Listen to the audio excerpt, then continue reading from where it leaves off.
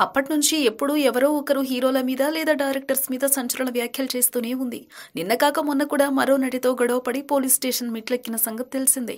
అటు కోలీవుడ్ ఇటు టాలీవుడ్లో ఉన్న చాలా మంది హీరోలని ఏకిపారేసింది శ్రీరెడ్డి ఇంతగా రచ్చ చేస్తున్నప్పటికీ ఏ ఒక్కరూ గట్టిగా మాట్లాడి తన వ్యాఖ్యలను ఖండించింది లేదు. ఇలా తను కామెంట్ చేసిన అందరూ సైలెంట్గా ఉంటే తన మాటలే నిజమని చాలా మంది ఫిక్స్ అయిపోయారు కూడా.